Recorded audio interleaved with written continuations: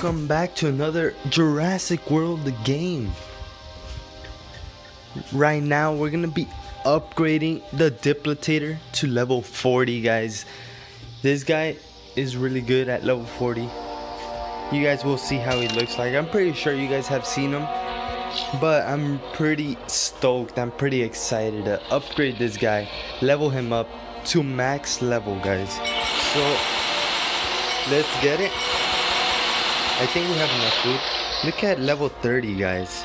But level 40 will look good guys. So let's go. Start this right here. Let's use bucks. You know. Oh let's go first try guys. Let's go. Okay. We got it. Let's upgrade this one.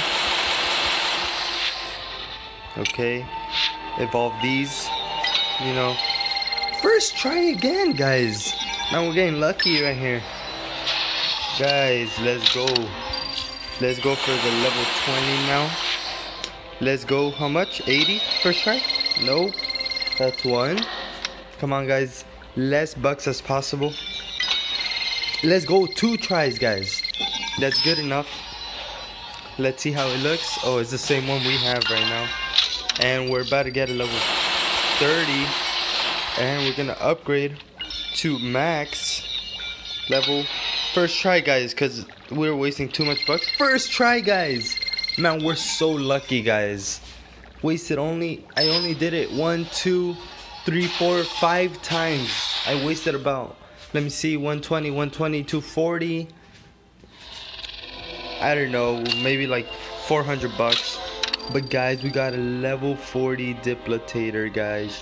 Let's see what his level 4 says. Unlike the Diplocaulus and Irritator, the Diplotator has spikes on its head and spiky tail, dude.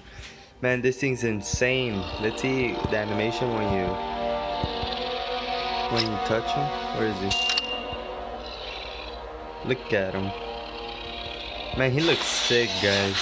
Here, let's upgrade him. Level 40, guys. We could fuse it, but I don't think it's it's good to fuse guys. I feel like Diplotator is good enough like this. You know it's hard to get that. Oh and we got this. Nice. So that was about it for this video guys. Hopefully you guys enjoyed me leveling up Diplotator to level 40 guys. You know hope you guys are staying safe. And I'll see you guys in the next video. Probably a Fall Guys video guys.